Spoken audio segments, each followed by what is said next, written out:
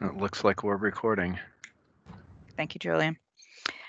Okay, I'd like to call this meeting to order. It is the Hartford Subcommittee of the MARB. It is March 25th, and uh, the time is 10:07. Um, I'm Kimberly Kennison. I'm the designee for Secretary McCaw, and with me today is Christine Shaw, the designee for Treasurer Wooden. Um, I I don't have any real opening remarks today. Um, just probably would say I'm I guess I'm excited. I'm not apprehensive, but I am getting my first COVID shot today. So today is a milestone for me. Um, and I hope all of you um, are healthy and safe during this time and uh, taking this into consideration as well. Christine, do you have anything that you would like to add? Uh, no, thank you, Ms. Okay, so good the morning, first I'm item on. on, Steve Falcigno joining. I'm Oh, sorry thank- I'm late. You're fine. Thank you, Steve. Thanks for joining us today. Um, the first item on the agenda today is the approval of the minutes of January the 28th, and I am looking for a motion for approval. So moved. Thank you, Second. Christine. Who was the second? I'm sorry.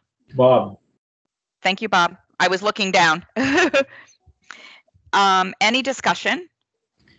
Yes, uh, Ms. Kennison, uh, question. Um, Sure. In the last paragraph, uh, before section five begins, uh, other related business, the paragraph leads with, she asked if the district had estimated the potential cost savings. Who is she? I actually, that I think is you. I think you made that and I left that out of the, Oh, I okay. left the attribution out, but I, I, I distinctly remember that part of the conversation, so I can add the attribution. Appreciate that. Yeah. That's the only other, the only change I recommend. Thank you. Thank you for noticing.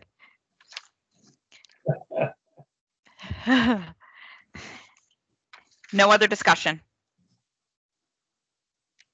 All right, um, then can we, uh, get a roll call of f- whether you're in favor, um, whether you're opposed or whether you abstain with the added, um, adjustment as recommended? All right, Mr. Brokman,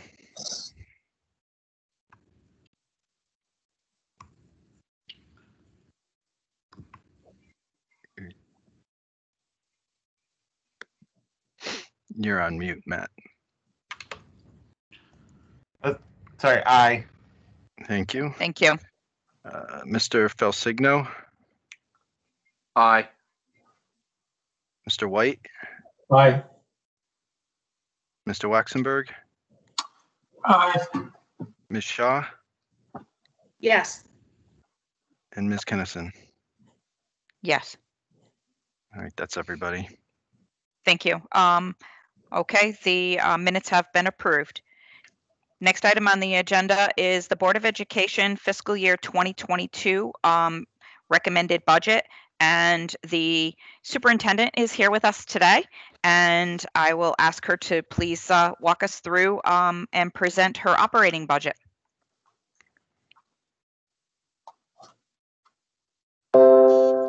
Thank you, everyone. Just making sure that, um, not sure if, um, I did not give you the presentation, although I think Julian, you have it, but I'm gonna try to kind of work this on my end. Um, we are not a, we are a Google team Oh. over here, so let me try to try this. Julian, can you help her? If, if you have any trouble op- opening it out or sharing your screen, I'll just share screen and, or I can, Then you can just say next slide.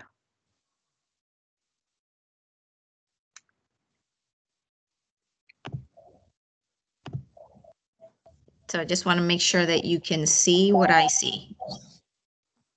Do you see the presentation? not yet. No.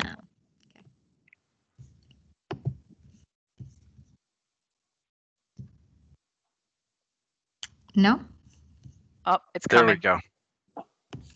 It's very It's- small. There you go. There we go. Getting better. There we go. Testing? You got it. Wonderful. Okay, so I um going to actually do a presentation that actually shares also context. and know that we are in the process of um, onboarding our new CEFO, knowing that uh, Date Flake, who was with us, was with us temporarily. We have someone that has been approved by our board and is um, in in their district is um, in the process of transitioning him over to us. And so we should have him on board within 60 to 90 days. In the meantime, um, bear with me. So um, what I'm going to discuss, yes, is our budget, but within the context of the pandemic, um, impact on learning. Uh, there are some, you know, implications with regard to the ESSER two and the guidelines, uh, our budget process, and of course the budget trends and um, some of the economics of our budget.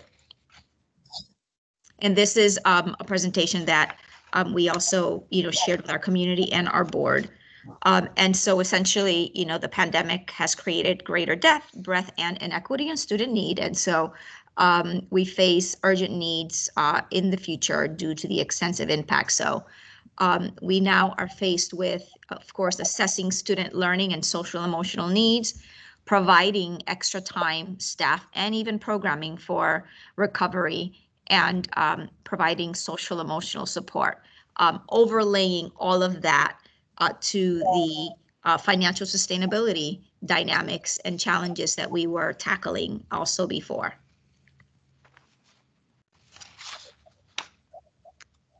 So the current, uh, it was, it's no longer proposed, the board has, has approved. Uh, but the budget did have, um, some pieces there that, uh, rely on, um, state level, uh, budgeting. Um, the proposed state level budget includes, as you, as you all know, pauses scheduled increase for ECS payments. Um, uses federal COVID funds to make up for some of the gaps related to ECS funding freeze. Um, you know, there's a raise in, in charters per per pupil grants, and it calls for expanding internet access. I needed to kind of lift these things for for my board so that they were aware. And um, there were also implications because the current budget proposed, um, you know, the flattening of the ECS poses a revenue risk for us. It's a 3.4 of our revenue in the budget presumes that, right, we continue the um, receiving the ECS funding through the increase in Alliance grant. And um, also um, COVID funding in places, in place of the ECS funds limits our options for uh, general operating expenses. Um, you know, we still are learning more as to what the ARP uh, funds will allow. And so perhaps these will not be an issue in terms of um, what we would need uh, the 3.4 uh, million for, but I needed to raise this for for our board as part of their decisions um, when they were considering approving or not approving our budget.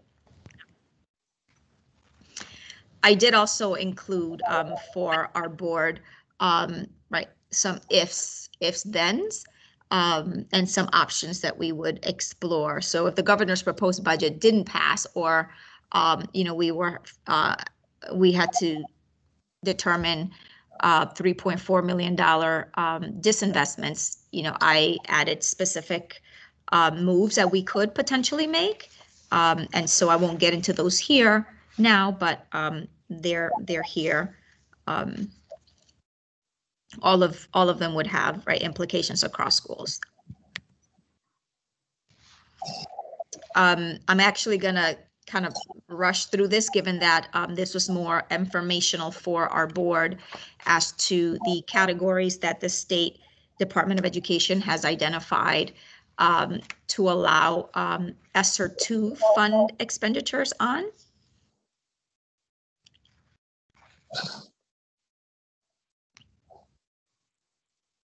And then we get into our budget development process, which sought to um, achieve uh, what we had committed to, right? Stability, making sure that we continue to use the equity-based funding as a foundational uh, pillar, um, making sure that we had strong alignment to our core priorities of the district, which were identified in collaboration with our community.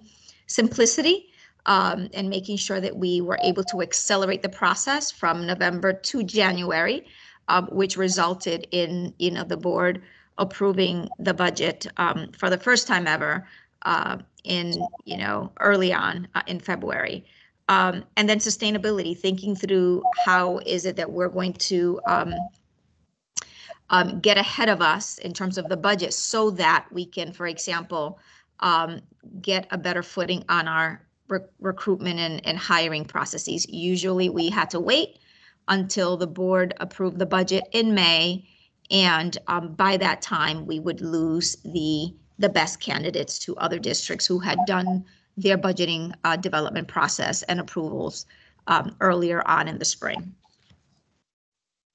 Madam Superintendent, before you proceed, what, what do you mean by equity-based funding? Yes, I can actually um, get into that in a few slides from now. Okay, thank you. Yes. Um, we did invest in uh, some budget software, Allovue, um, which is a cloud-based point and click technology. It does simplify uh, budget processes and provides clear insight into monthly spending at the district, at the school level.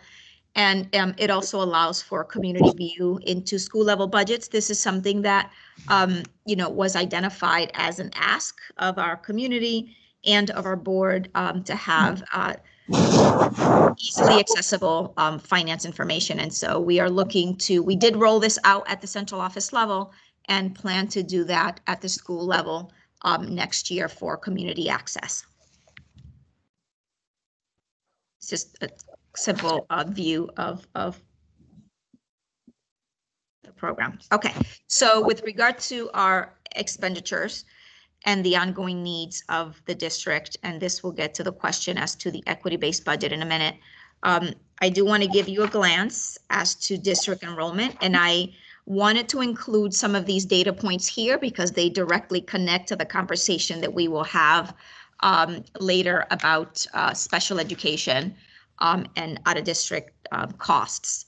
So you can see here that, um, you know, prior to 2019, the average annual increase was, you know, about 2.6%. Um, in 2019 and 2020, the average decline was 5.2%. And so overall enrollment was down uh, 6% or uh, 1,127 students uh, this year. And this includes um, enrollment counts include students in in Hartford Public Schools and in our outplaced uh, facilities as well. This is getting a little bit in the weeds, but um, it gives you um, an idea as to school-specific um, enrollment changes. And essentially, you know, the headline here um, is that 54% of the schools had a decline in enrollment this year. And, um, you know, you see that there's a, a very specific grouping here that you see to the left. Um, you know, these happen to be our, our community schools, our neighborhood schools, and, you know, have an enrollment drop of almost 14% from, from last year.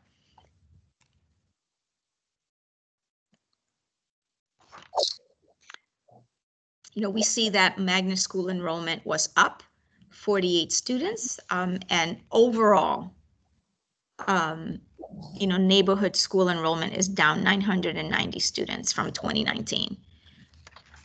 So, you know, we think about longer term implications and the work that we did for three years to consolidate right size, um, co-locate our district that resulted in, you know, closures, of 20% of our schools. Um, and and then COVID happened, right? So um, we're still not sure what that's going to mean for future enrollment, um, but it does it does have implications for us as we think about what three years from now is going to look like after um, we begin, right? We're stabilized again.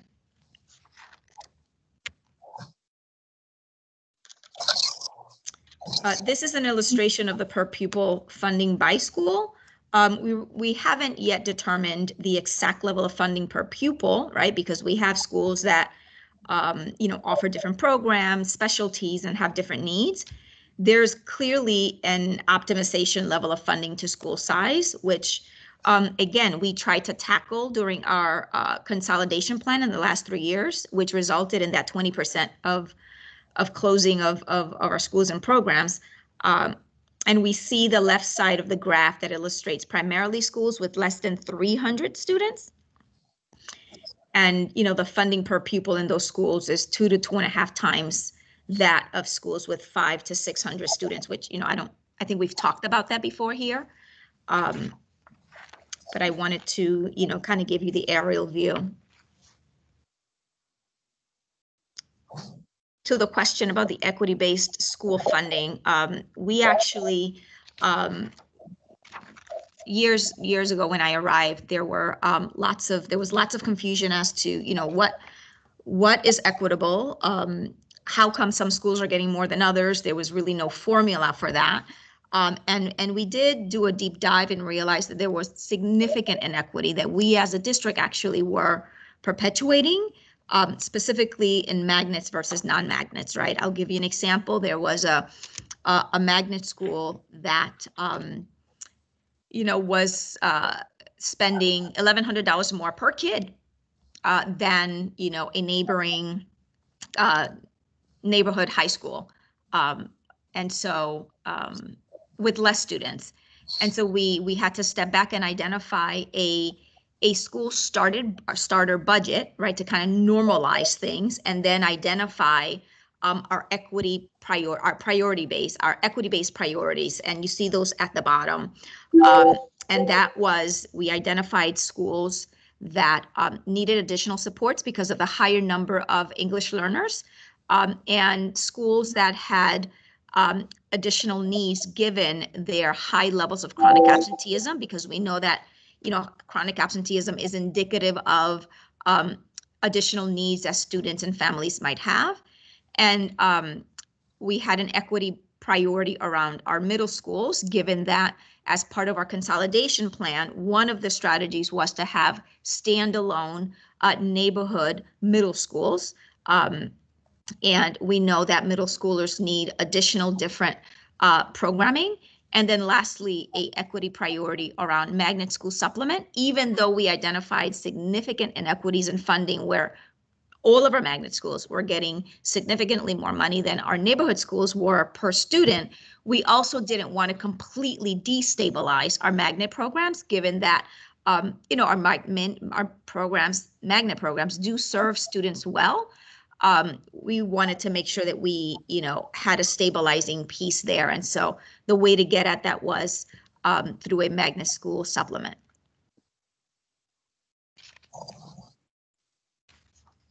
This is um, a visual that I believe I've, I've shared, probably have shared with you in the past, but um, this is our tuition growth rate.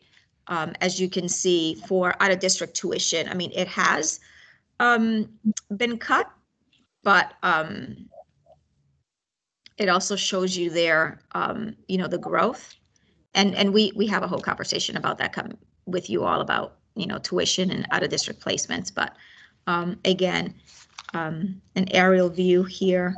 Um, we know that the costs have been increasing, but there's been a a, a slowing down of the growth curve. Um, and I know that we have to analyze this further. Um, and then we get into um, overall, right? The the funding position remains within one percent of the current year. Um, this does include the expected increase in our alliance grant as part of the ongoing ECS funding. Um, the changes include the local tax number declining due to a shift of where the 5.6 million non-lapsing funds are booked. Uh, the funds are now in the city's account and will be provided back to us uh, as requested. So this is no longer revenue for us. That's um, now rather it's a credit to our expense. And if you see, you know, federal federal funds are essentially the same, although we we do anticipate having Title I dollars uh, that carry over into next year. And our state level grants are down slightly as we uh, expect a slight reduction um, in our magnet operating grant. As with this year, um, we are expecting lower non-resident enrollment in magnet schools.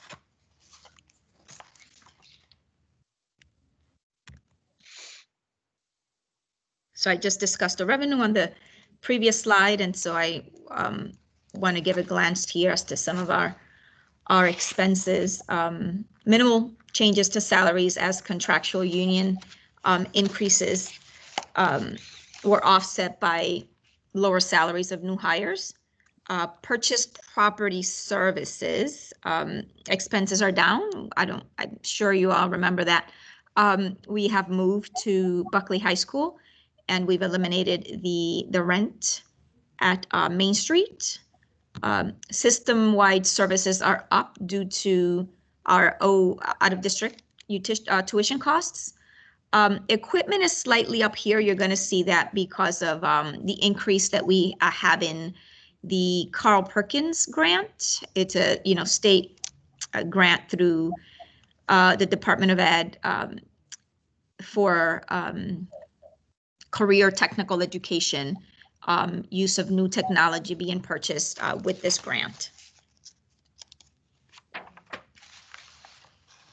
And then other miscellaneous services are up for two reasons. One, um, last year, the 12.4 deficit uh, was booked in this line, and this year, this is where the non-lapsing uh, credit of the 5.6 was booked. And of course, the difference between those two is 6.6 million. So it looks like an increase in costs when it's actually a reduction um, in the credit to the budget. Um, and then um, Sundry is down due to lower fringe costs. Um, lower fringe costs are down due to low use of um, lower usage and um, have been validated by Segal, uh, the Segal partners.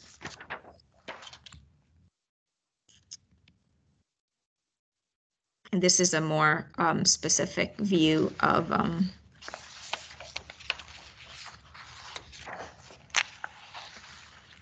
our cost drivers here.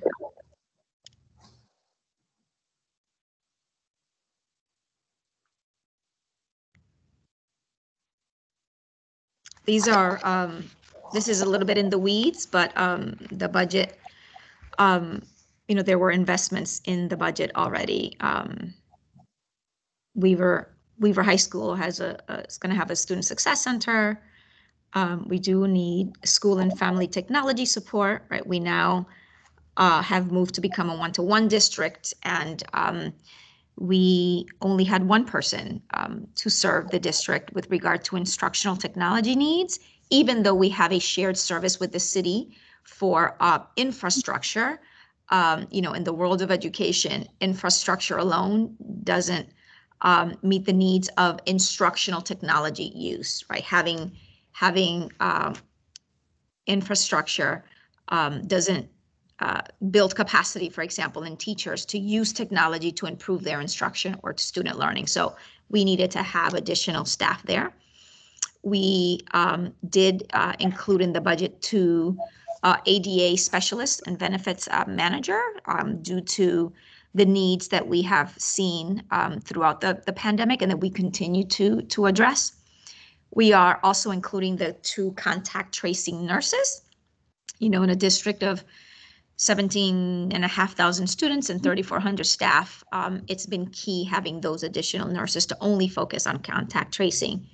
And we did include an investment in athletics as well, um, given that we want to build a continuum of athletics um, that uh, expand beyond the middle school. And so beginning in fourth grade, having opportunities for fundamental um, programs for students. And then, you know, you see to to the right there um, some tactical updates uh, included in in the budget. Utilities reduced to reflect the forecast from Bridge Energy. There were five vacant positions that we did eliminate. Um, we had to add some FTEs per principal feedback, and of course, uh, the special education um, investments and or reductions are a fluid process. And so if there were um, needs that had to be identified, they were included again based on um, individualized education plans at schools.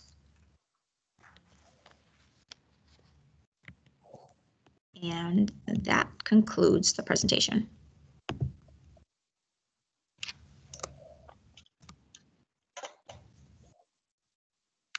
Thank you, Superintendent.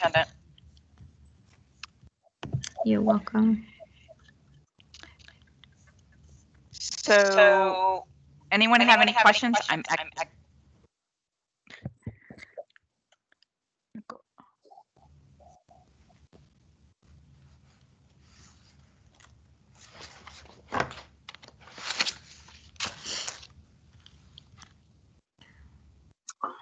The tuition, for- the the tuition for uh, charter schools, even though the state law says that they aren't supposed to charge tuition, is that based on the MOUs that you have with the charter school? Does that include the MOU with the charter? Yeah, I mean, have- yeah, I mean, why are you paying tuition when the law says you're not, charters aren't supposed to charge tuition?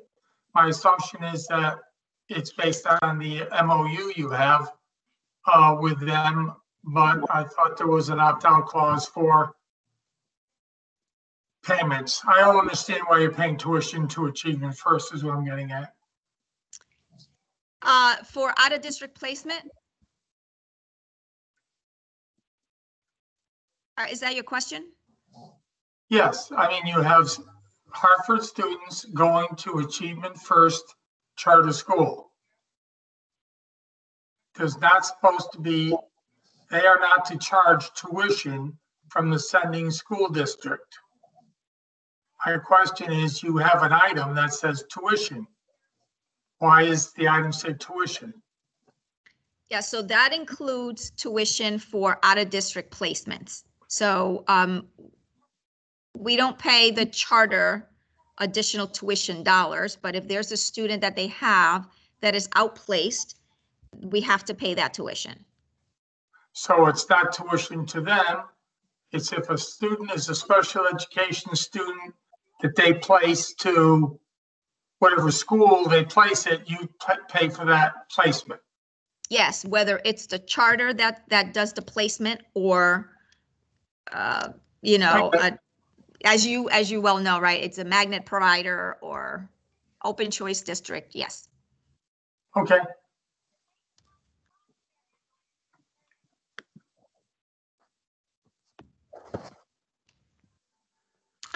So I, I have a question. This is Steve Falcigno. yes, Um, Steve. And this is just looking at, at the trends where you have a significant reduction in student body population per school.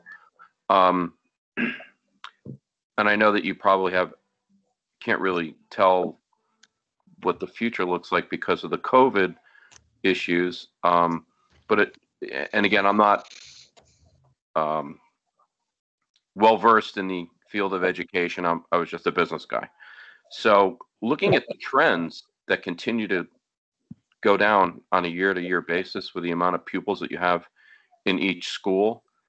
Um, and just looking at it from a business standpoint, and I know that, it, and I'm not suggesting that you look at children as a business, and but it, it is an investment, a huge investment um, for the city of Hartford.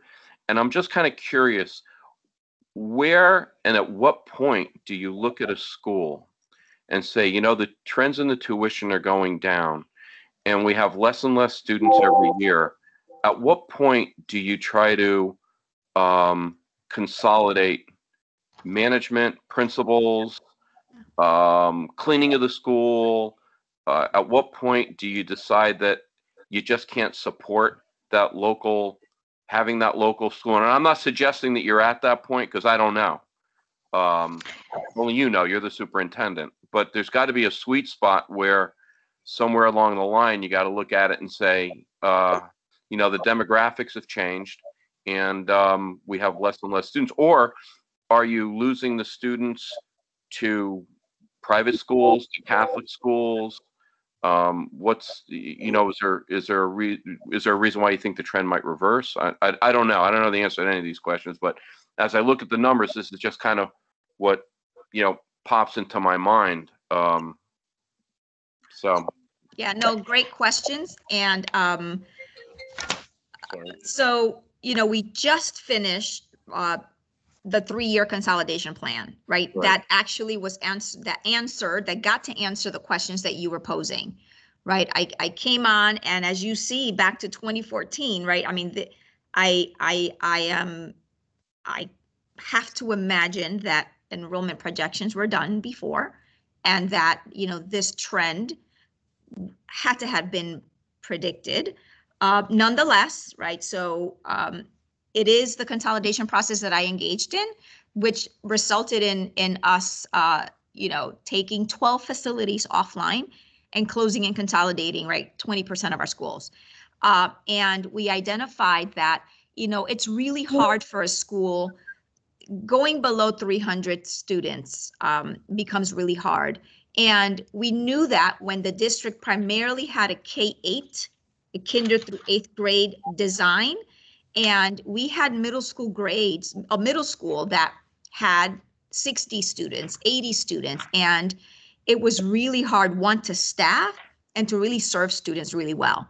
So, as part of the whole redesign, we had to then have smaller standalone middle schools in order to be able to consolidate and create pre K 5 schools to right size them. Now, with this projection, and and because we know that um, you know the, for example, magnet schools uh, ex, uh, offerings of magnet seats will continue to expand, and you know as part of the the Sheff um, requirements, you know, 50% students have to come from Hartford, right? I mean, it is to serve Hartford students. And so they are going to come from neighborhood schools.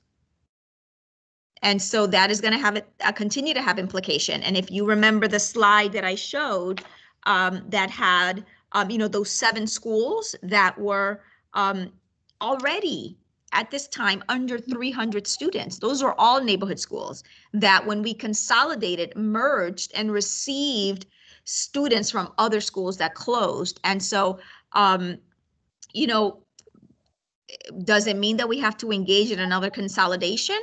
Um, I don't know, but um, there's going to be an economy of scale, which is what I think you're you're getting at, um, an, an economy of scale situation um, in which we're not going to be able to serve students well um, because you know unless we say, well, we're going to have a principal for example, that's going to go across two campuses, and you know how feasible um, is that?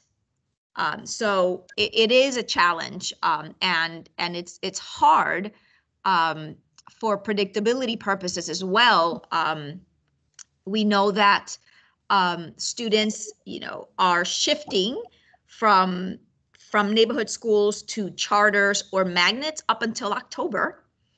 And so it creates a significant amount of disruption operationally for us as the sending district because right we have to we have to budget for a certain amount of staff and things might completely change you know in in october which then has to you know creates uh, class size issues for us per per budget and per contract right we have to say well we can't have a class of 13 kids so we have to consolidate and it creates these bigger ripple effects be, in addition to Mr. Uh, Falcigno, the ones that you're that you're lifting. Um, so those are real. Those are real challenges that you're asking about.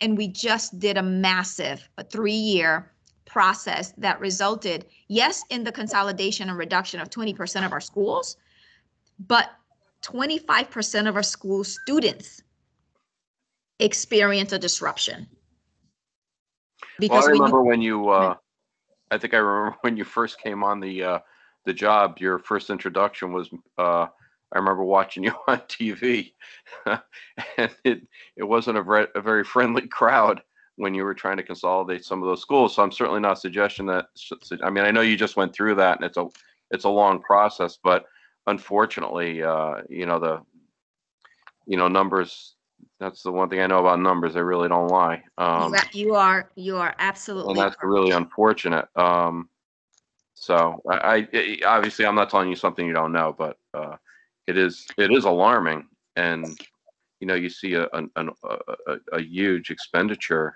um, for the city of Hartford, and that's uh, you know. So, but anyway, thank you for your answer, and I, I know there's no, you know, true and fast, easy solution to any of this, but It's just something that uh, I was just kind of curious. At what point is there a, you know, is, is there a sweet spot where you think that you need to, you know, group schools together, or you know, and I'm not suggesting you, you're there, but you know, something else. So, Stephen, I'd like to piggyback off of your comment. Um, just so you're um all aware, I did 20, I did about 25 years in higher education. And yes, it's not the same, but it is still dealing with um, providing a service to a student. And in higher education, what we did was um, from either a programmatic level, so the types of programs and the type of um, you know degrees that you offer is very important as well as the needs of the market of where people can get a job or not get a job so it's a little different but in that we created a model and in this model it's called the break even. And so if we find out what's the capacity of each school and or program in in my world and within those programs and it could be colleges because um, in some places we had multiple colleges um, and within those programs we we had to shed light on those that were diminishing. And because they're costing and you do not want to continue to invest into a program that isn't attractive. So there's got to be reasons why whether it is the demographics and there's less kids out there for you to serve um, it, we're coming out of a baby boomer, and after that, I heard that the demographics are less. But as you project out, like you know how many children and births there are in every year, and what you can see come down the track in, in, in, Hartford. And as you look out for those, what is the break even of a school to operate, and what are the needs and what are the capacities, so that this way you don't pay a larger price tag for something that uh, is, is not giving you the best bang for your buck. There's that cost beneficial piece of it. And so when you mentioned, um, you know, the 300 number, um, I quickly went to your headcount numbers um, that you provided in your presentation, which was on page eight. And I think it would be helpful if I knew, if we knew the MARB, you know, what's the capacity of each one of these schools? So if the capacity is a 500 size school and you only have 200 kids in there, I think it's important to know that. So, so, these are some of the things that we looked at in higher education, like in dorms. So the capacity of a dorm versus how much is vacant. And we've learned that p- students were moving to live in houses and they weren't using the dorm structure. So um, I, I think that some of that would be a very good analysis. I'm sure you have this information because you have to have it for fire code on how many kids are in each one um, can fill these schools. And then the next thing is is the cost that goes with the school. So as you mentioned, some of them were spiking and um, I didn't have your presentation in hand, so I literally um, went through every single one of your pages to get a a cost price per each school per student, and some of them are more alarm, alarming than others. Some of them, the cost is running around the average. I would say it's around eleven thousand dollars a kid, eleven to twelve thousand a kid. But then you have some schools like this um, Burns Latino um, Studies Academy. I don't know anything about it, but that price point is $21,000 a kid versus 11,000 a kid. So I want to say, why is that? And, you know, I see that they have, you know, 21 21% is in special education there. Maybe that's part of it, the needs of that special education. I don't really know, but I do think it's important to know why is this school costing almost double the others? Because they're going to they're maybe they're getting better education maybe they're not maybe their needs are higher. I don't know that.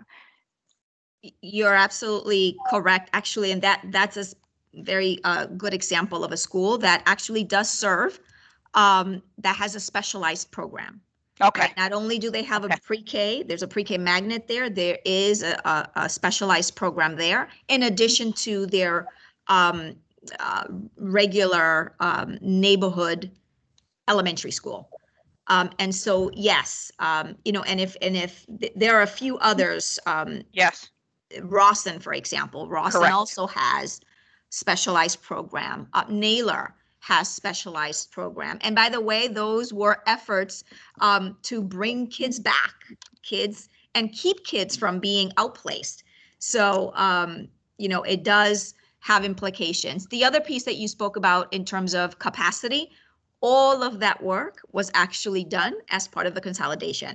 Um, Sure. Right? We, we, you know, that was one of the um, principles considered when we uh, tiered and ranked schools. You know, how many schools were operating under 80%, you know, capacity.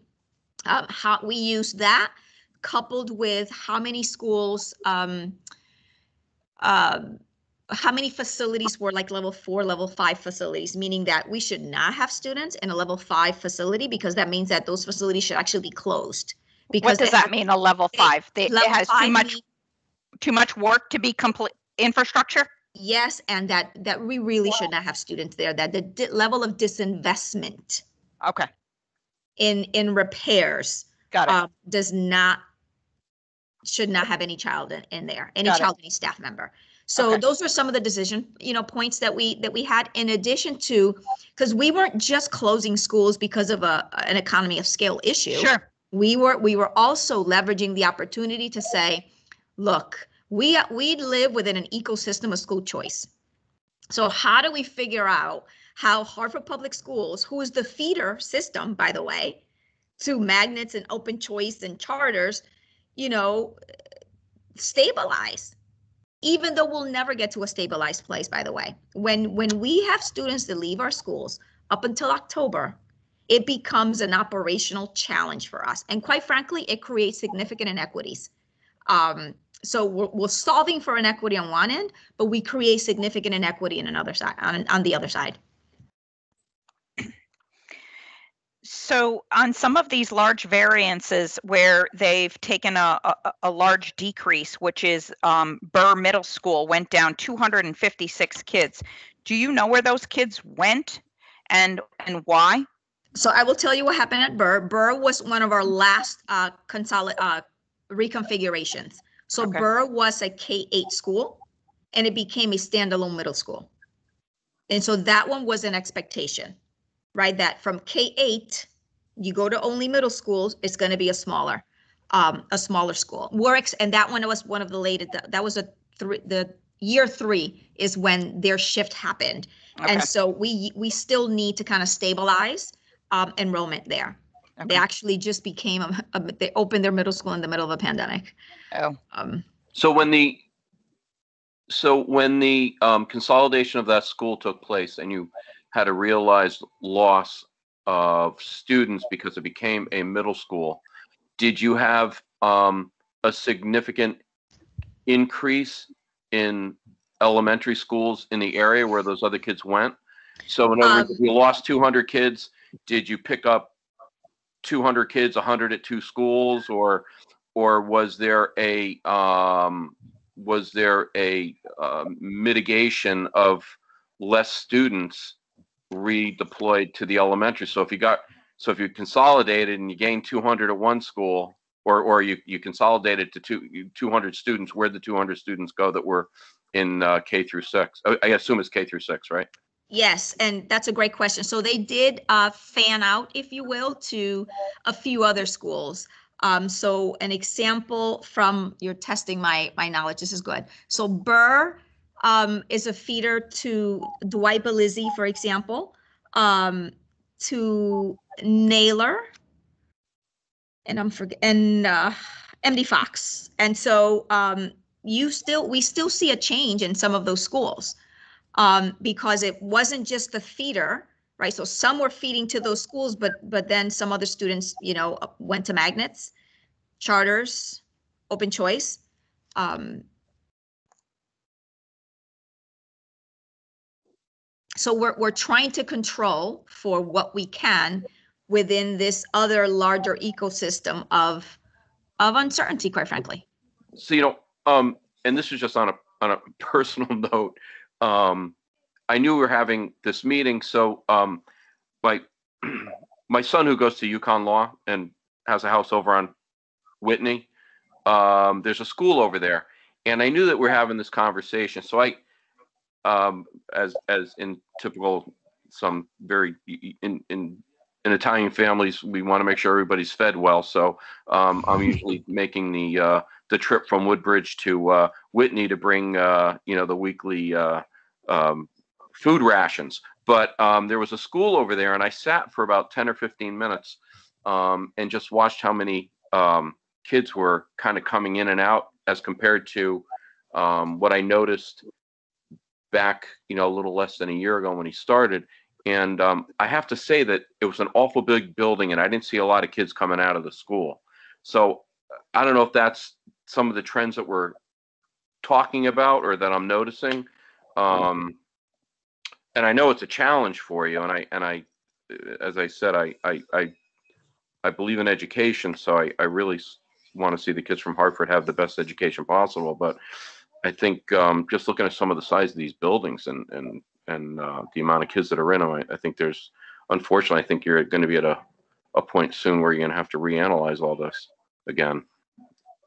Yeah, I don't know when when that was that you were looking at the students coming in and out, and if it was during a pandemic, then that you know. yeah, well, the pandemic is, you know, all bets are off with that. But it- Correct. it was an awful big, uh, big building, and um, yeah, it's just my opinion. I'm, you know, again, I'm not an educator, so. But I, uh, you know, but what Christine, Ms. Kennison said was, I think, really significant to know. the numbers? Yeah. Right. Yeah. Um, Christine? Madam Superintendent, I just wanted to, to follow up on the, the question, the line of questioning that Ms. Kennison offered. You know, one of the, the challenges in, in, in evaluating um, this, this budget and uh, trying to understand that the, the drivers of some of the costs is, for my part, you know, I want to distinguish between what I believe are extraordinary needs within the district. We've talked over the course of many, many meetings about the uh, particular needs of the population of kids in the Hartford school system and really trying to understand and to, to recognize that and to make sure that the appropriate resources are available and to understand that in some instances, greater investment, more expenditure is needed because of the particular needs of this population. But I also want to just kind of distinguish that recognition from the, from the reality that we really want to understand the cost from a more clinical perspective, from a more analytical perspective. And and it's difficult. This these you know, and, and Mark Waxenberg has driven a lot of the questioning on this, which has been helpful. We've discussed the necessity for really, you know, in the context of the special education uh, expenditures, what that what that really looks like, and and, and having a meaning, meaningful comparison. I know that that analysis continues uh, and is underway. But what is what is challenging, and, and this is to Ms. Kennison's point, how is it that we can better understand kind of some of the at a more granular level what is what what are truly heightened expenses by virtue of aging infrastructure and, and economies of scale and you know you have you know fixed costs where it costs a certain amount to keep a school open no matter how many kids are in there how is it that there can be a better kind of sense of what those where the opportunity for savings lies. I mean, that's I, I'm having a difficult time really kind of digging beneath the numbers a little bit because again, you know, the recognition that there are extraordinary needs, it's not lost on me. And these kids aren't widgets. So let me just be clear. This is not a purely economic assessment. However, the economics and the resources need to be directed to where they're needed most. And if there's hemorrhaging within the system, if there are inefficiencies, in my mind, we need to find those so that we can redirect the, the resources to where they're most needed. So, how is it? So, without all that said, um, could you comment on the the um, the heightened? I, I think there was an RFP issued for an outside consultant to help analyze some of the special education expenses could you talk i know i know you're expecting new staff whose main responsibility will be to address some of these and during questions but could you comment on that and and the extent to which that analysis can inform uh, your expectations for the future budgetary needs Yes, so uh, before going there, I want to try to address some of the other um, points that you lifted. Um, and and want to just remind us that like all of these things that you're lifting, we did as part of the three-year consolidation plan. Um, and looking under the rocks, right under every rock, what does it mean to close 12 facilities and release 12 facilities? You know, at the end of the day, those are not big. Those are not big long-term um, cost savings. I mean, $350,000 here, right? When we think about a $420 million budget, right? So I just wanted to put it in context. Um, and to your point about uh, need, that's where equity comes in, right? A school that has 20% students with learning differences is a very different level of need than a school that has 5% level, right? Because there's a the need is higher and the, the need is concentrated. Um, the same thing with with you know students that are you know learning English as a second language. So um, those are all very real. Um, and the special education piece, um, um, you know, we can we can we're we're thinking through the RFP. The the what we're still having a challenge is identifying the what. What is it that we're trying to get at? Which we can we can shift to that conversation now, um, because there's there's also a challenge there with with the predictability, Ms. Shaw, right? As to how many students will will go into the um, you know the special education um, become, you know, require special education um, services.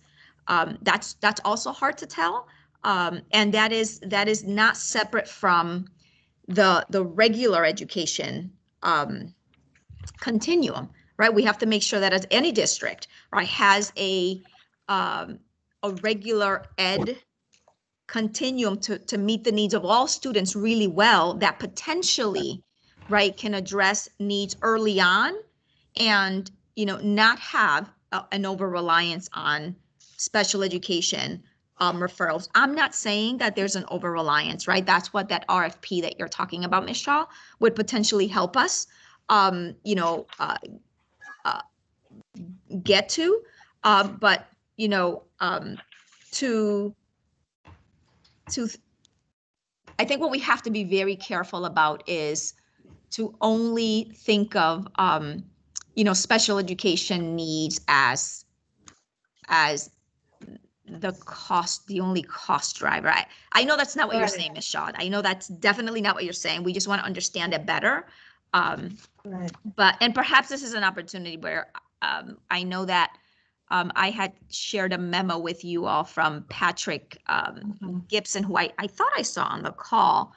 Um, and I don't know if this is a good opportunity to have him also give his, um, his overlay, um, when they actually analyzed did. all of our special education data. Um, I guess before you hop to that on in just that focus, because it is a separate line item on the agenda. Yes, sorry about that. excuse me, I would want to make sure that we ask all of our questions about the, the budget first, and it. then you can make the specialization of uh, talking about special ed. Um, but to make sure that the members have asked all of their questions about the budget, if, if we don't mind. Yeah, so Ms. Shaw, well, we can come back to your question then. Yep. I'm not going to ignore it, Christine, because I'm hoping it comes out in our, um, in the presentation of everything with special ed. But let's just make Right, sure that, so- And, and, and just to be clear, um, I, I cited, um, the line of inquiry around the special education expenditures over the last several months as an example Yeah.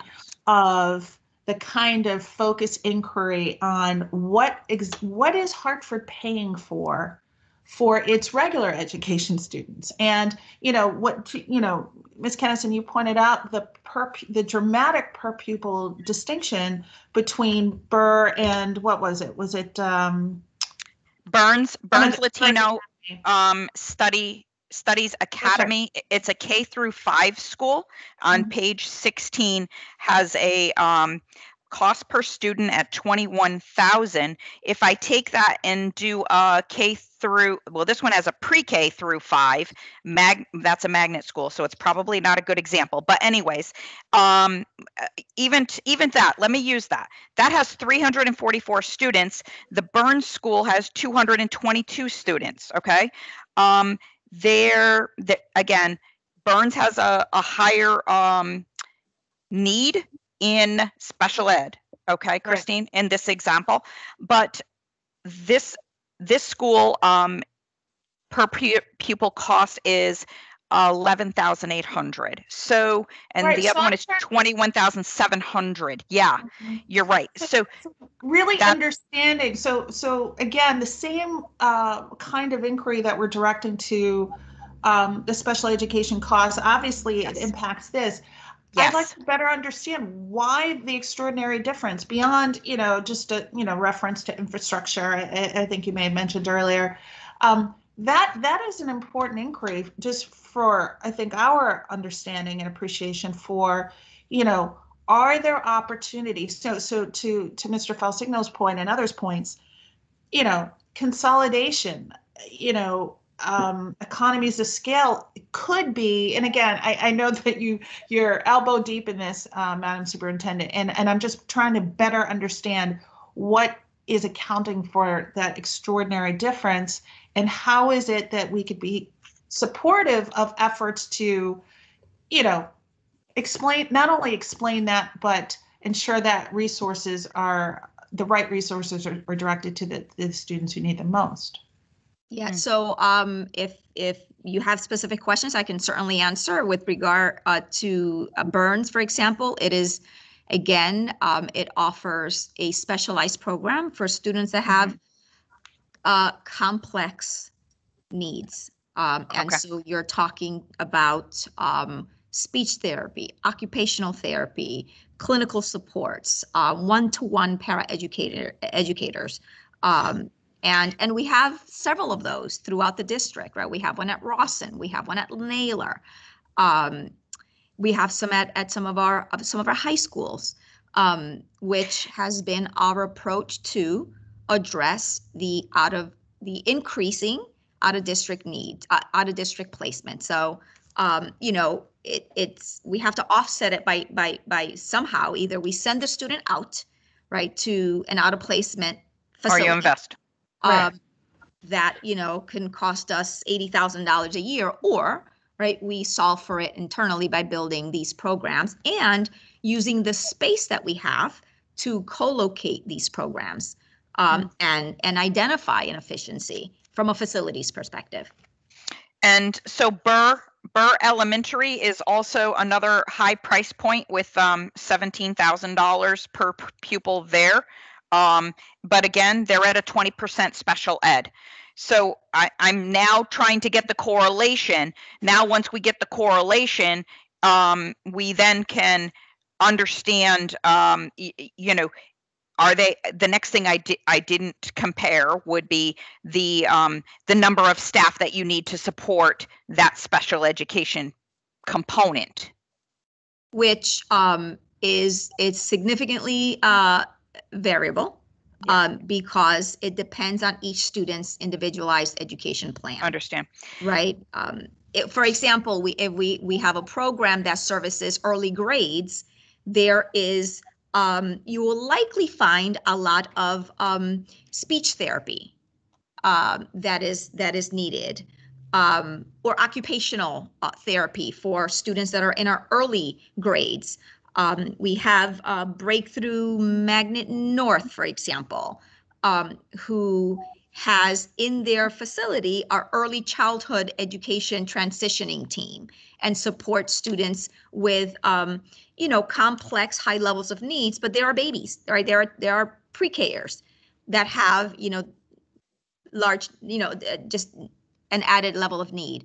So um, we it's it's we have to look at it on a one-to-one um, case to identify there is no formula if you will for a a school that has 20% special education, right? Because all of those are are very different, right? So Moylan is another one, Breakthrough North, Hartford High, Bulkeley.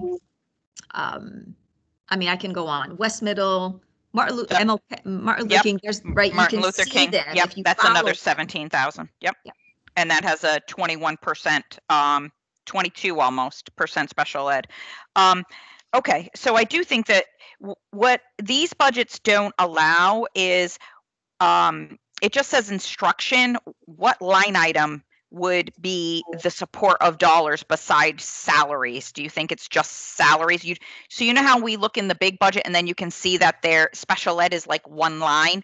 So you want, we, we know, um, those costs, but within the individual budgets, it's not grouped into a, a programmatic level. These are like, um, objects. It is, it's through salaries, right? When, when we write an IEP, um, uh, Okay. An individualized education plan, IEP, um, right, it's, it's, it's hours provided by staff. Okay, so those will be the increased salary dollars for the staffing, for the education. Okay, Correct. thank You You know, it could be like a 0.5 um, service that's, that's in a school because you have 10 students that need occupational therapy versus the school in the next zone that has two occupational therapists because more of those students need, right, hours of occupational therapists. Um, can you tell me what is the occupational therapist title if I look down the resources? It doesn't say occupational. I see the speech in the list of, so that one pops out to me. But I, I don't know what they're called. Uh, Ms. Hoffman, I think Ms. Hoffman is on, on the line, but do you see an OT, occupational therapy? No, I don't see anything called OT. For, for, so it, it will say, maybe it's special ed para? No, no, that's, that's, No. that, that's a special education para, para Okay. educator.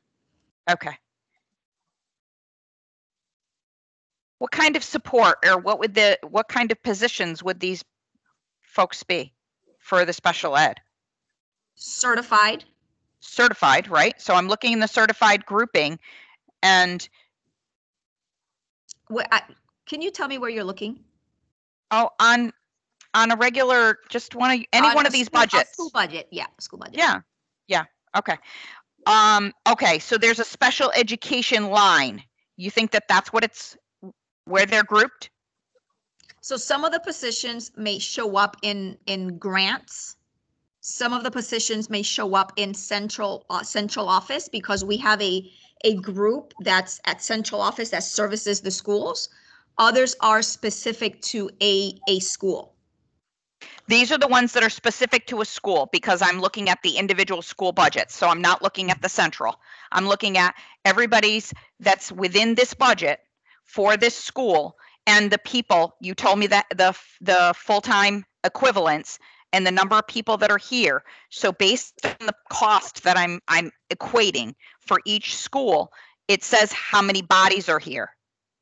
Yes, and what I'm saying Okay. is that there are, there is a group at central office that does service the schools, but they belong to a centralized budget. Uh, understand that would not cause this particular cost to go up. It means that it costs even more.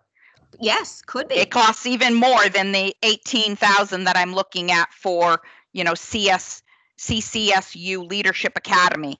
Um, because that cost I didn't include, but, but what this budget tells me in the head count that is here, the number of professionals, certified professionals that you have here, um, are included in this budget, and the cost per student there is $18,000 a kid, a student. Yes, so So in, I'm trying to understand which positions are special ed.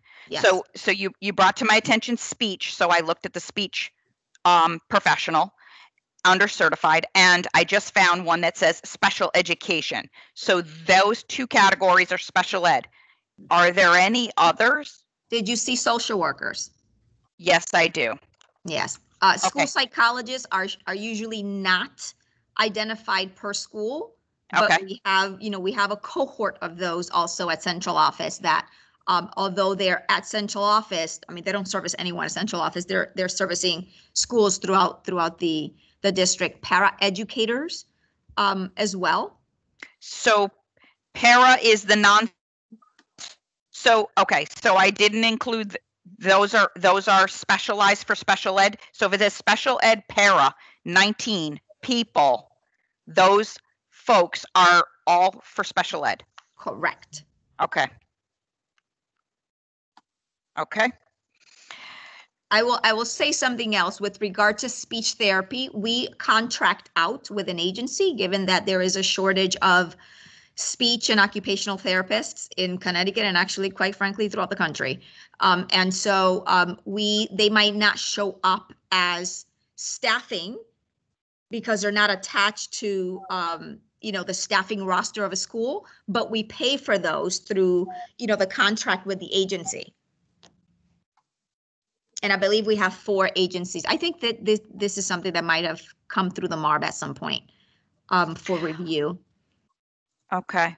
It, is that contracting um, centralized or is it, is the, is the costs um, pushed out to each individual school for the services that each school is getting? It is, it is centralized, but it is, but, but it is, it is pulled from the FTE allocation at a school. So the. Is it, is it included in this budget at the school level? No, the budget for the, that service is in the central office? Correct. Okay, thank you. Okay. Um, and that's for speech. Well, that's for speech, that's for um OT, occupational therapy. Yep. And we've even had to rely on them for uh psychologists. Okay. Thank you. Other questions from the board members? Um, I'm going to be conscious of our time so that we can get on to the other topics.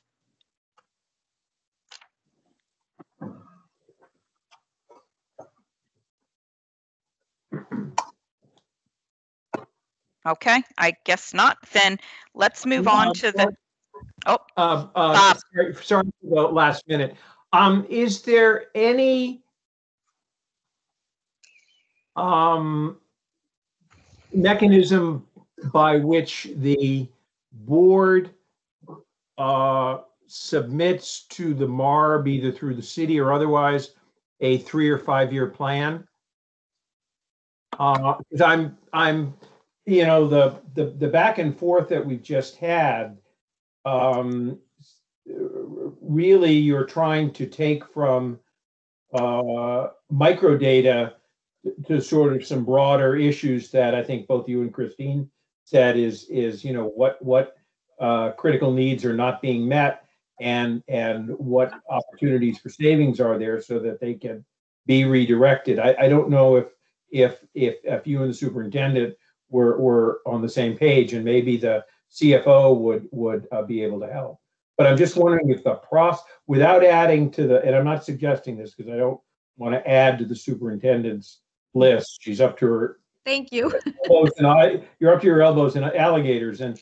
she um, needs a CFO. Yeah, um, so, but, but, but again, if, if there's some mechanism to, to do that, um, I think it may be worthwhile, because you, you're talking again, you know, on, on different levels. And, um, Yep. I, I, think there, we need to.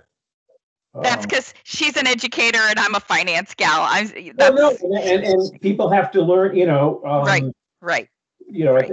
so we, we, we've got to talk each, each other's language to be able to, um, uh, ask, you know, because, because some of the things I heard is, you know, a ten thousand dollar gap in per pupil is because the need was higher. And if the goal is to redirect resources to where the need is highest, um, I didn't know if the superintendent was saying we're doing that. Um, it just, so look at those discrepancies because th- there's a need. We're I- I- doing that, we're doing that because we have to by federal law already, right? then, So You have to fulfill the need. We, we have to, an Right, individualized Law, that student may not be the same thing. An individualized student plan calls for service provision and, and we have to do that.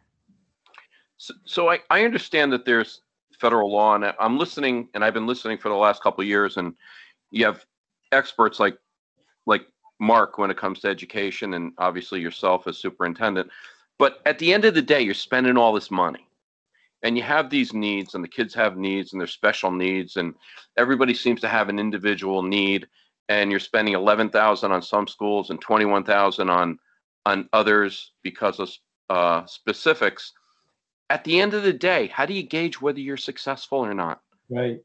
Right? At the end of the day, do- Are we just you- throwing you- money at it? Right. I mean, are you just throwing money at a problem and and just kind of shoveling against the New Haven Harbor tide? I mean, I, I, I mean, maybe you are. I don't know. I hope not. I hope not too.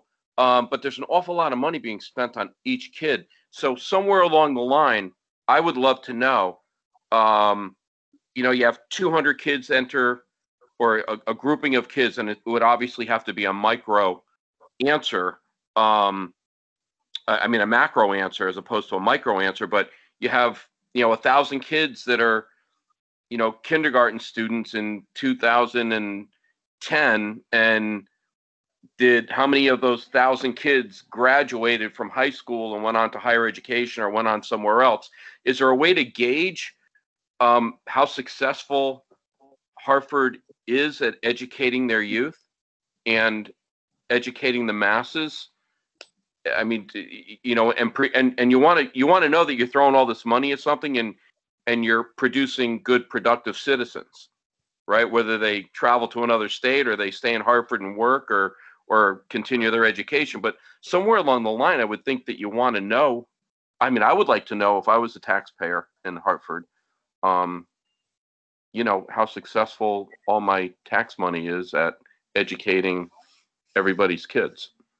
Well, as, as it relates to students with um, exceptionalities or learning differences, um, we meet students where they are. And not only is that the federal law, but it's also our moral, moral obligation to do that.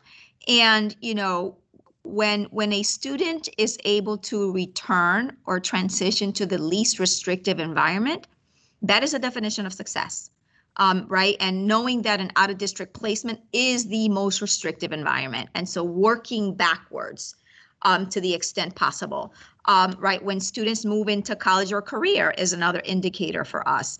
Um, but, um, you know, I also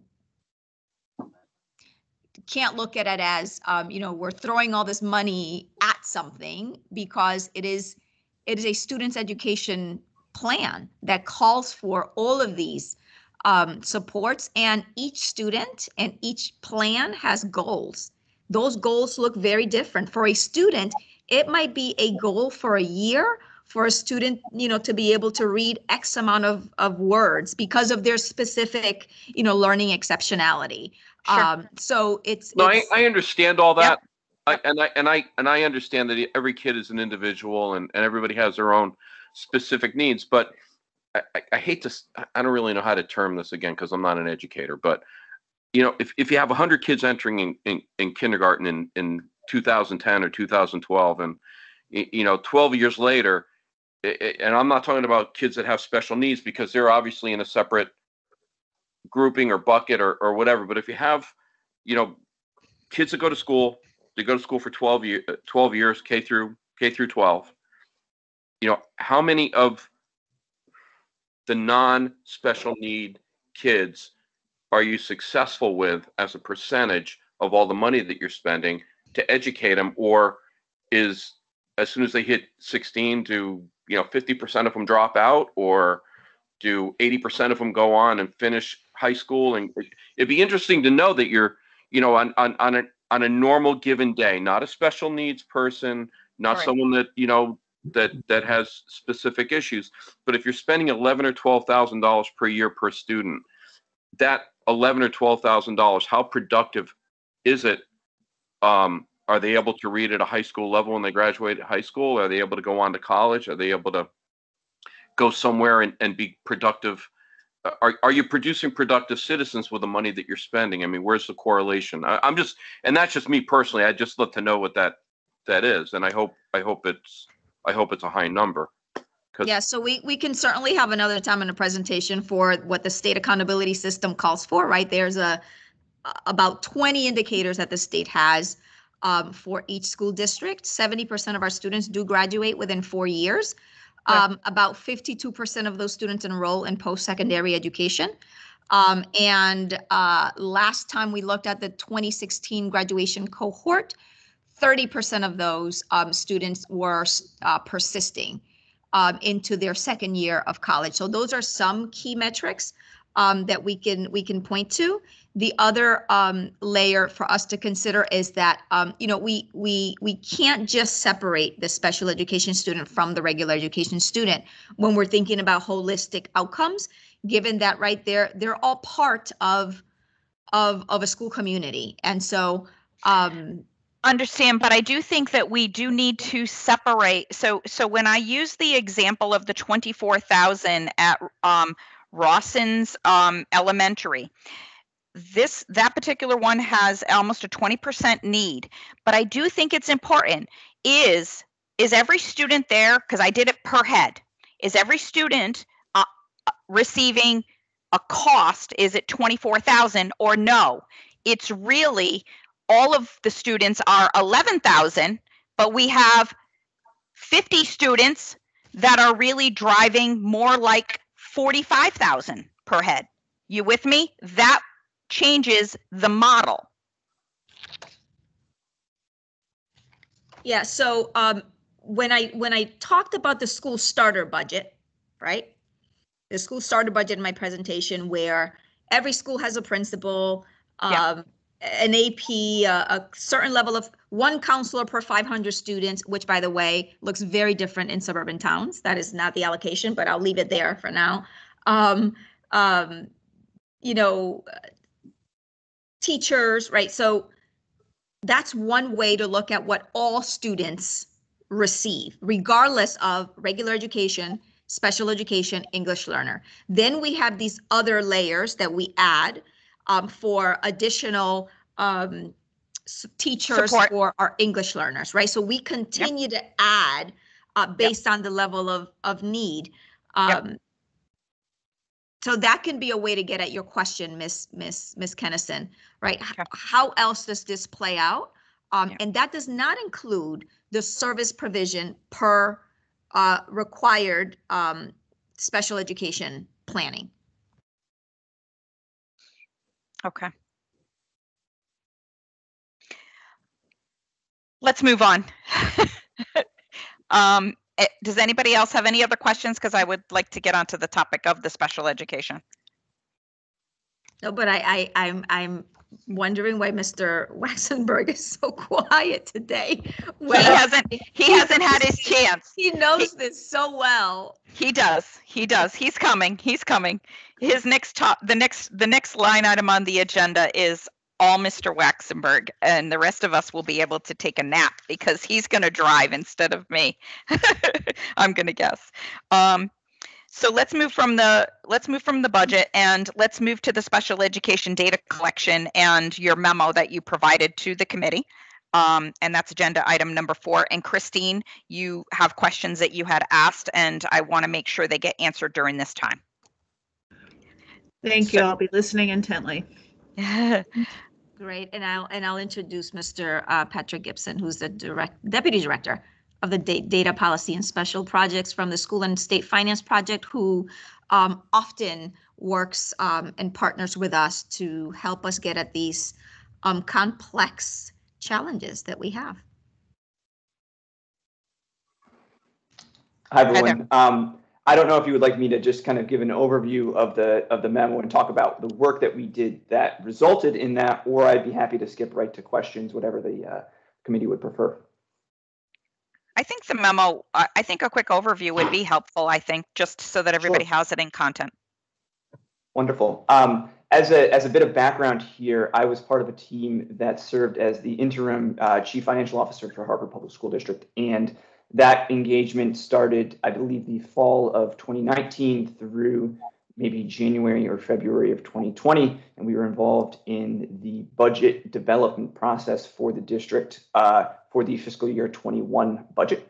Um, and as part of that team, uh, we were tasked with looking at um, a, a pretty crucial part of the Hartford Public Schools budget, which, as uh, this, the subcommittee knows, uh, is special education tuition and students leaving the district and students coming into the district and the uh, the bills that um, the, the district received for those students who are either outplaced by Hartford Public School District or are receiving special education services uh, in, in choice districts and choice placements or are therefore outplaced by, let's say, an open choice provider like, um, you know, Avon Public Schools as a hypothetical example, and looking at uh, how to fit that number into uh, a budget proposal um, uh, in, in concert with the other uh, parts of, uh, you know, uh, the education, the, the district budget.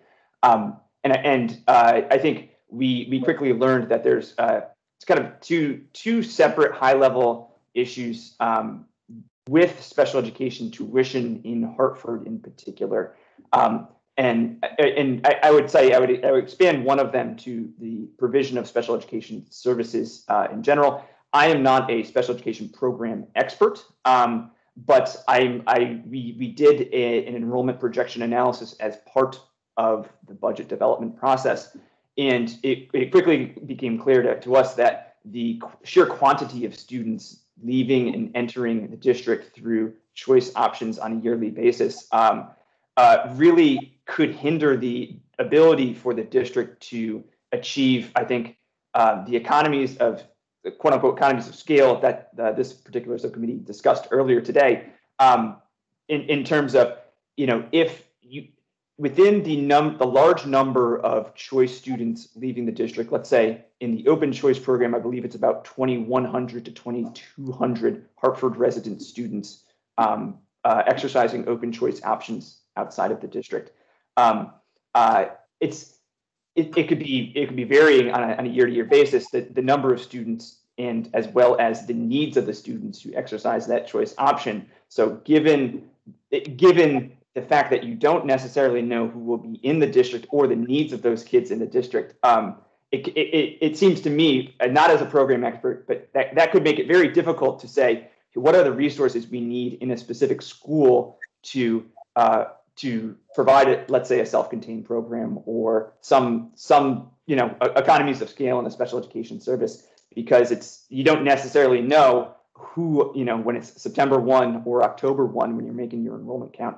Um, the prior year, you don't necessarily know if the students you were delivering services to last year are in fact going. To, it, what if what if they exercise a choice choice option and head out? Um, and I think that this problem is particularly acute in in Hartford, given the Hartford has the the largest uh, number of resident students uh, exercising choice options, uh, I think, among Connecticut districts. And as um, as Hartford, as the Nexus district, is responsible for paying the, the, the costs of uh, of delivering the special education services, um, they're ultimately you know responsible for for paying that. Um, and I think the second related problem is um, from a tuition bill standpoint, we quickly looked at these numbers, and again, we are the numbers we looked at when we were in the district are slightly out of date, but I, I took a quick quick peek at the uh, the budget provided, uh, the fiscal 22 budget that the superintendent provided, and it appears that the trend is continuing. Um, that we quickly looked and saw 10% year over year increases in private outplacements and public in-state tuition uh, uh bills year over year. Um, and those are about 33 million and 34 million dollars. They were in fiscal 20 uh, at least, um, respectively. And um, that re- that resulted in a nine percent increase year over year um, from 2019 to fiscal 2020.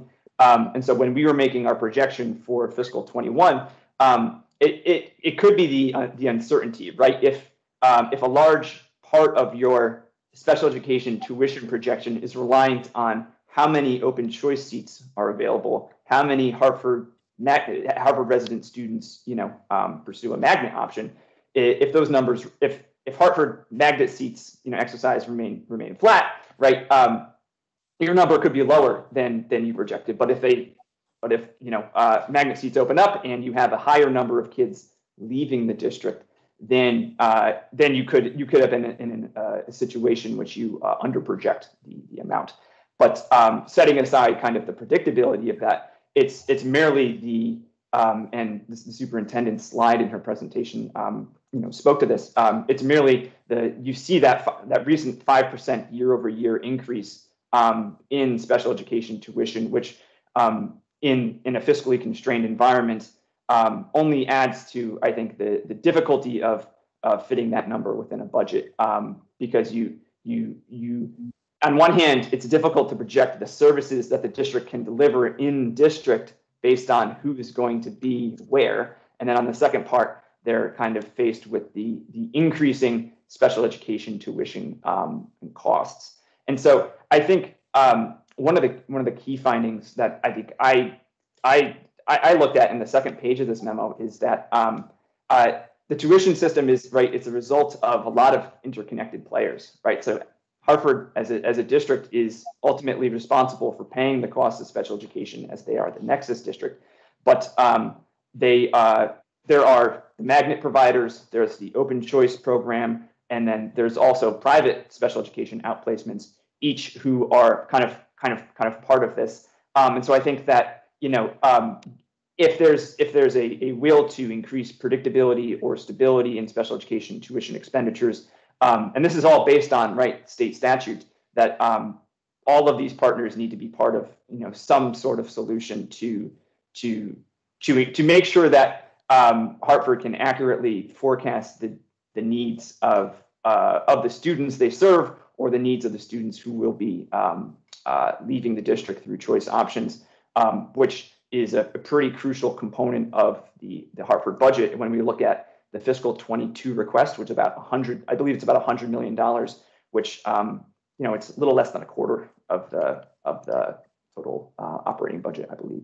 So from a big picture perspective, um, it's difficult for Hartford to um, look at these these types of mobility of students leaving the district to exercise their choice options, the thousands of students who are doing that, while at the same time you have students entering the district through the interdistrict magnet program, and uh, you know, and every year you have a, a new cohort of kids, you know, uh, participating in both of those um, choice uh, streams, which makes it difficult to uh, plan internally, and then if, if planning could be perfect from a special education tuition perspective, that num the, the, the sheer increase in the percentage year over year um, is is certainly a budgetary difficulty for the district um, when uh, developing their budget.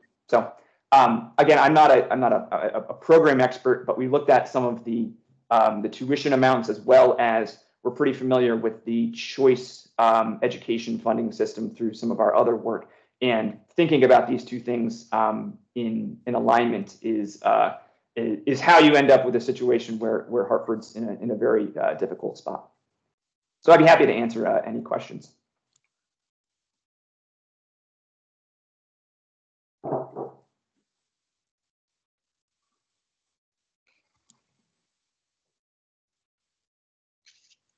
Any of the members have any questions?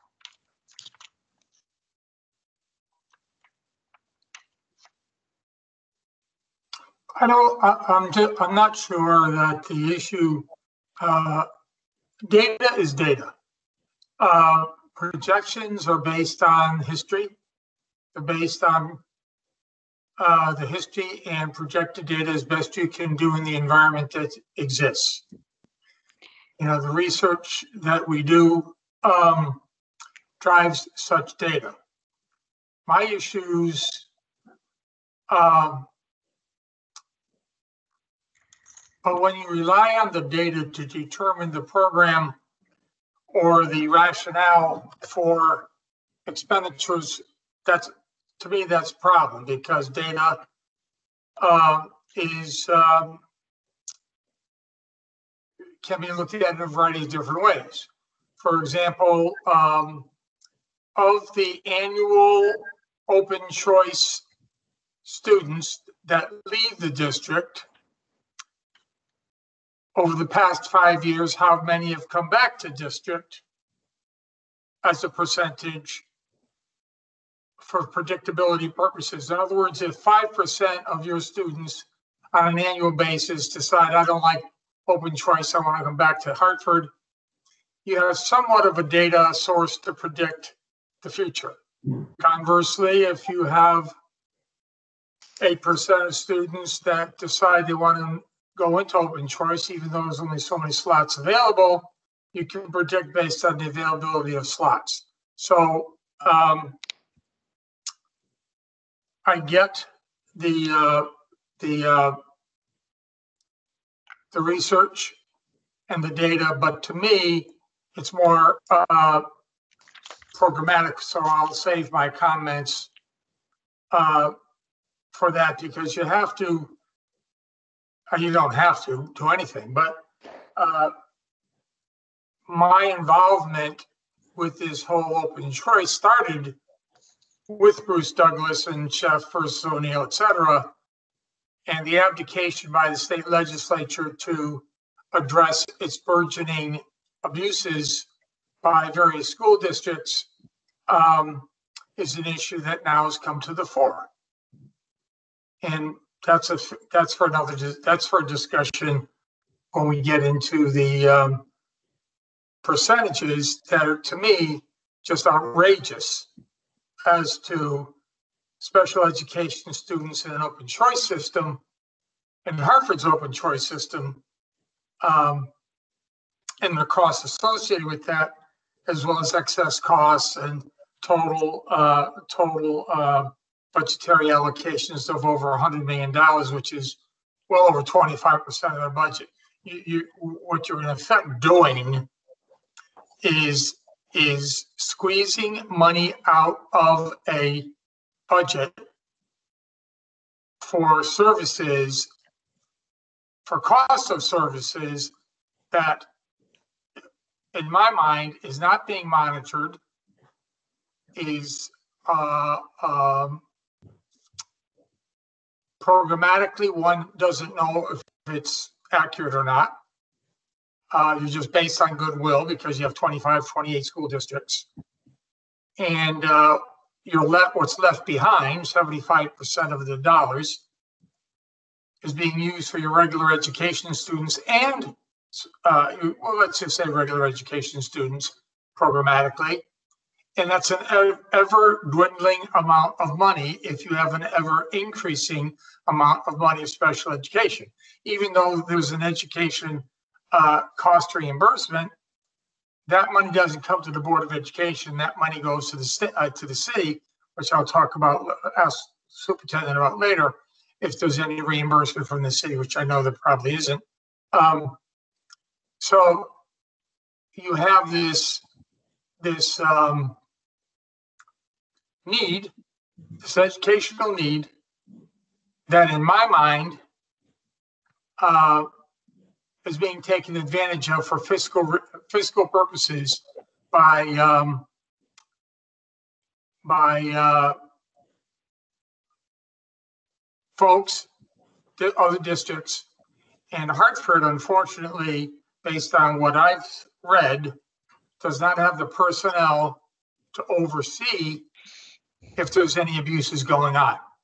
Uh, and um, the building of the CREC Dynasty by Bruce Douglas in the 90s uh, has had serious implications for Hartford that are now coming home to roost. And how do we deal with that? And unfortunately, the superintendent is trying to deal with it, but it it is what it is. She's limited in her uh, fiscal capacity. So um, it is absolutely clear in my mind that there is, uh, and I agree that open choice has contributed, if not uh, a driver, for costs, for, I don't say inflated costs, for excessive costs that are injuring the Hartford School Board budget. She's not going to get any more money out of the local taxpayers in Hartford. I don't believe. Uh, federal and state dollars, that's a jump ball based on the economy. So when you have a defined uh, uh, amount of money and you have to address it by statute and by law to a group of children that need servicing, but such servicing is being driven by somebody other than your own uh, district, like these tuition costs, which are questionable at times, at best, uh, you're subject to the, I hate to say it, but to the ill will of people that are looking to make a few dollars on the side. And to me, if they're not, fine. But the ability to, to uh, charge Hartford for costs is there because there is little to no oversight programmatically, policy-wise, and and in a fiduciary uh, capacity due to limited personnel and such large, you got 28 school districts, large variances. They're just, so, you know, they're easily subjected to to the, uh, to the whim, I don't want to say whims, but I get frustrated because I know the game so well. Uh, uh, to, uh, to, uh, to, to various school districts costs and analysis. That's why some of the things, and I- I want to thank the superintendent for getting back some of the questions, but even more importantly are some of the tables that I asked for that unfortunately we did not, were not able to, to get, which basically are the percentages of special education students. There's 2,243 special education students, choice students. Mhm. According to the first answer from the superintendent. Yep. Out of how many? How many choice students? What percentage is that? In other words, do we have 10,000 students? Is that 25%? Is it 40%? Nobody knows if they came into, superintendent admits, nobody knows if they left the district with an IEP and then all of a sudden entered into Avon. I'm using, I don't mean to harp on Avon, but using that as an example. They went to Avon. They were two grade levels behind. Avon tested them and said, oh, this child is learning disabled. Therefore, we're going to uh, PPT him. Hartford has no say. They PPT him. They start billing Hartford for services of a child that needs intervention, not special education. There's a difference. And nobody, nobody is overseeing it. There's, Uh, it's Mark, Mark, Mark, could I uh, put a question? I, I think you're on to something, uh, as you have been for a while. Is the, the lack of oversight one of poor management or legal impediments? I think it probably is both. I don't say it's a legal impediment. Uh, Hartford Could not have a say. Hartford could say, I want a say in this. yes, and there's no, there's no, uh, the only. That's a legal impediment. Right, to my recollection, the only uh, say that Hartford has regarding special education and the creation of an IEP is in the charter schools. That's clearly in statute. Uh, But when I asked the question of the superintendent about their ability to do the PPT, uh, PPT, uh, she stated no. So they, the child is handed, I don't want to say handed off, but handed off to the new district. Hartford could say, we'd like to participate. Um, even if participation's a good thing, but, you know, you may not have any say because the district is the one that has to provide the services. They're not legally, uh, they have no legal right to participate in such a PPT. Teachers have no legal, ironically, uh, until recently had no quote unquote legal right to comment on the PPTs. So it's a whole uh, issue that needs to be dealt with educationally, but in Hartford's case, it's, uh, to me, um, I feel very strongly that Hartford is being subjected to um, not necessarily special education, but remediation services that are being identified as special education. I could be wrong. Uh, uh, I hope I am, but based on what I've read and the percentages, the data, it just doesn't do that. The data for um, superintendent's responses here in six, she says, uh, she, not she, but the data and her response is four thousand three hundred and eighteen students uh, for 2018-19, that's probably the PSIS number out of the state, uh, are identified out of, let's assume, 20,000. And the superintendent can call me an idiot anytime she wants. It's, that's happened quite a bit. Um, she won't be the only one. She'll have to get in line. Uh, uh, Mark. that's about, that's about twenty-five percent roughly. So, and then the choice students the same year is two thousand two hundred and forty-three based on uh, the response from the superintendent in question number one.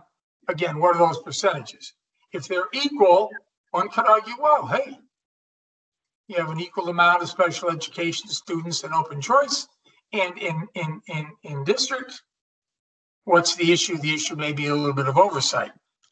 But if that twenty-two forty-three is thirty percent of choice or forty percent of choice, I have to question saying, wait a second.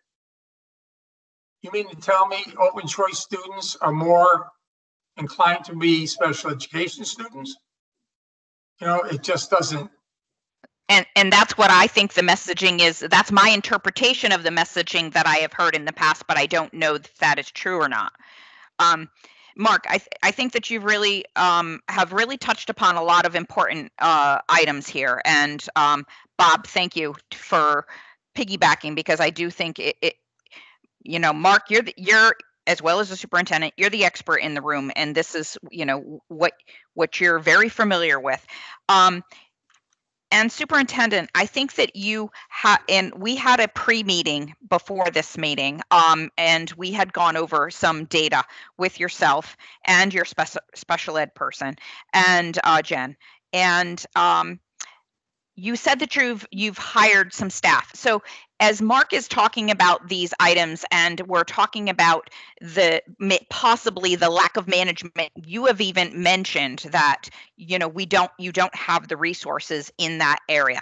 Now, um, knowing that we might be getting some federal funding in the very near future, where most people would put that into infrastructure, and and I know it's slotted for specific uh, uses, but can we make steps and strides to begin to manage this and to you know look at the 100 million as we're we're talking about for open choice and a portion of that is special ed. Can we begin to put in some type of managing monitoring um, it, taking baby steps so that this way okay if you're going to start to evaluate some of these students uh, do we start with a, a, group? Do we start to build a program? And then the program gets bigger and bigger so that you can i think if you start to get an oversight it's kind of like you know there's different ways that you can look at it. If uh, if nobody when we had a lot of theft if you don't have police then you're going to continue to have theft. That person that you know has the little store on the corner is going to st- continue to have theft. But when you start to have police presence, it stops. So I think that there is a a, a part where you need to um, move towards being involved, and I don't know what that level is, but it's an investment, and I think it's an investment that you've started to make. But I think we you you maybe need to continue, and I'm sure that that's your goal. Yeah, so the investment that we're doing um, is actually for um, internal, um, right, our students and making sure that we ourselves are not don't have an over reliance.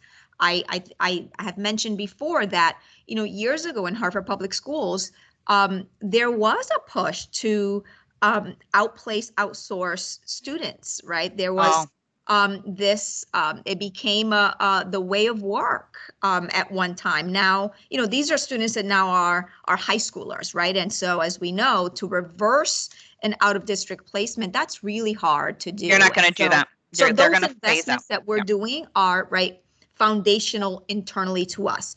Um, you know, it's really hard, um, and I and I do agree with Mark that that there are uh, policy legal implications here because um, you know, yes, we own the IEP, right? We own it, we pay for it, and the district has to implement the IEP. But um, if we're going to say we want to be at the table, um, then we need staffing to do that. And I don't think that it should be us, Hartford Public Schools, identifying budget um, resources to have that when when this is not just a Hartford Public Schools issue, right? This is an issue that's part of a larger ecosystem um, that that we are a part of, but not the only party.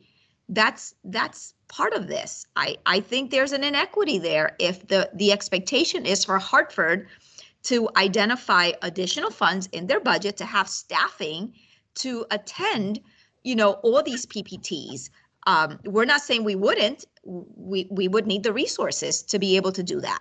Um, and then that's step one then you know we we become part of a team right because um, just because we're at the table doesn't mean that we we're going to have you know the say you know a ppt process is a is called a planning and placement team for a reason because it it includes you know the educators the at oftentimes advocates parents the students understand I just want to be conscientious of our time. If others have um, some uh, questions that they have for the superintendent, we do have a hard stop today at 12 o'clock because we have another board meeting following this. So I want to give um, our board members that that uh, participate in the next board meeting of the MARB um, an opportunity to have a quick break and then come back. So I do um, want to be conscious of our time. Anybody else have any questions? Ms. Kennison, can I just clarify Mr. Waxenberg's quest, data question Please. so that I can? um, You may. Uh, so the question was how many of total choice students, Mr. Waxenberg, are special education? I, I, can you repeat your question, please, your data Uh, question? you- According to, to your, uh, your response, there was, the, in eighteen nineteen, which is the most recent year you can probably use, uh, it's like twenty-two hundred, I think I said, Okay. yeah. 2243. twenty-two forty-three total. That's an answer to question number one. Out of how many total choice open choice Understand. Okay, you know, and, and, and as a percentage, and, and let me just, because we do have a hard stop, and I don't want to surprise anybody. It, it is my intent, I think it's serious enough, and I don't expect Hartford, I don't want to place Hartford in a position to determine or create a hostile environment within the open choice uh, or Sheff school districts. I think that Marb, uh, and I'll forward this through Julian to to the to the various uh, leadership uh, people within OPM.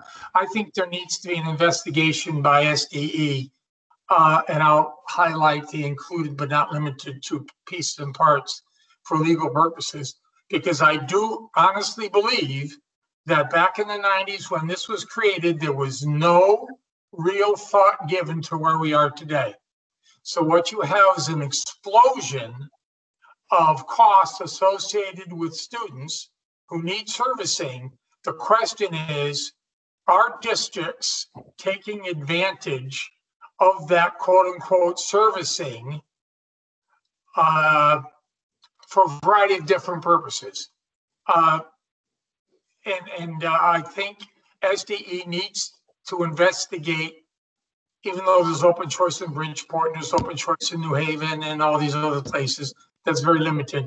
But in Hartford with 28 school districts, I think, as you said, uh, Kim, if they know, the, uh, you know, if, uh, if, and I don't want to use it, even though you've used the analogy, if they know somebody's looking over their shoulder, they're going to behave a little differently. They are.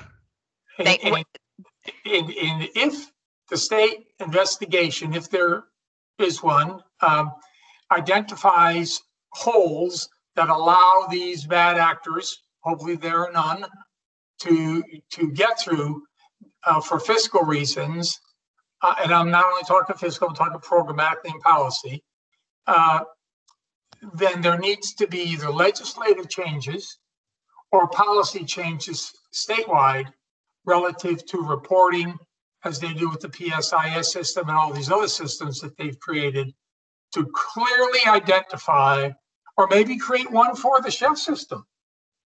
Because what you're doing for Sheff, if this continues the way you're going, you, the Sheff is going to be at a disadvantage for the students of Hartford.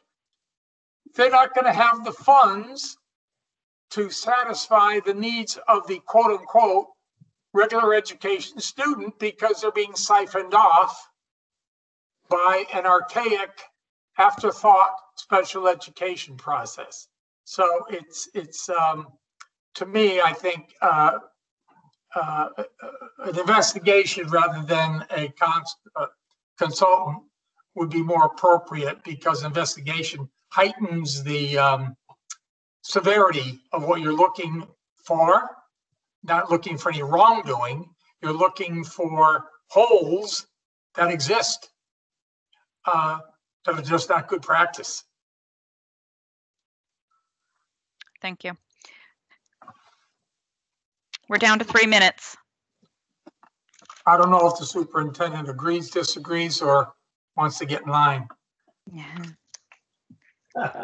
It, it's just a hard dynamic that um, at times um, feels to Hartford Public Schools that we're, we're, you know, just in a hamster wheel. Um, It's really hard for yeah. predictability purposes. Yeah, a- and for me, the way I get out of that with a eh, being a CFO and I have overseen, you know, distressed companies, financially distressed, is to I have to rely on the data, I have to rely on the numbers, I have to rely on the trends. And yes, there is that humanistic and support that we have to provide, but it but um, I, I do think that sometimes again, whether it's an investment of people, time, to do nothing and continue to to uh, allow this to if you're saying mark that they could be taking funds away from your regular r- children that are in there getting educated then um, th- that i think needs to we need to be aware of it. Uh, Kim, and and make uh, movement. Yes. Kim, 30 seconds. Um, please. Uh, I think that given the sensitivity that Hartford has, being in the system, as the superintendent says, um, you know, uh, you know, she is trying to go faster on the, the squirrel wheel. But, um, you, you know, I think Marb can help can. because this would not be coming from Hartford.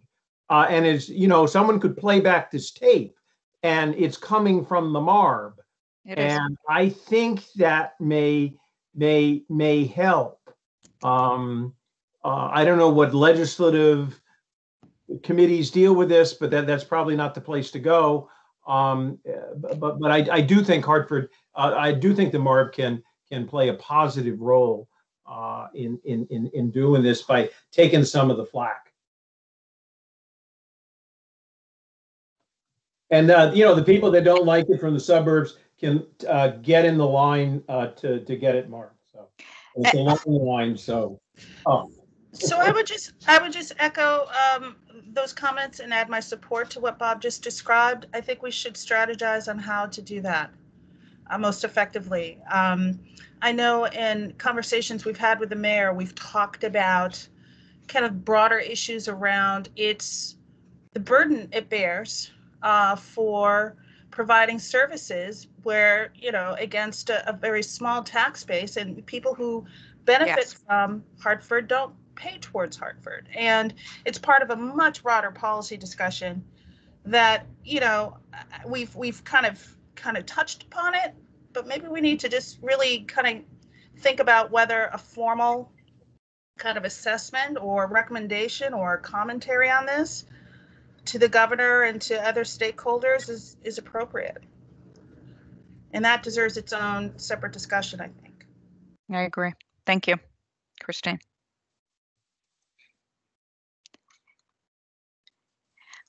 Um, we do have another action item to, on our agenda today, um, and I'm going to look to table that action, which is, uh, to get an update on the corrective action plan, because we're at twelve o'clock. Um, I know Leanne is on the, I think Leanne is on the phone. Are you? Oh, maybe she's I- not. I think she dropped off, but. She did. um, Okay. yeah. Okay. Um, and I, I saw your report. It's included in here, so um, I can see that progress has been made. Um, I think we can get an update um, at the at the next meeting on on that item. Absolutely. Well, and we'll Because- have Sharice here to talk. Yeah, through it. a- and, and the report is, the report is included, so it's not as if we don't have the information. Um, at this time, we're at twelve oh one. I'm going to look for a motion, um, to adjourn, but before I do that, Superintendent, thank you very much for coming today and presenting your budget and having this healthy discussion around education. And please know that we are here to support you. We are here to, uh, you know, help assist really for you to manage and maneuver through these uh, tough topics of discussion and um, you know appreciate your good works Thank you so much to all of you. Thank you. Can i get a motion f- to adjourn? So moved. Second. thank you mark. Thank you christine. All in favor? Aye. Aye. aye. Everybody? Anybody opposed? I didn't hear everybody. Aye. Aye. thank you. Bob? Uh. aye. Okay. All right You're funny today. I didn't hear Falcigno either, but we shall adjourn. Yeah. Thank you. Have a good day and have a nice weekend coming up. Take care.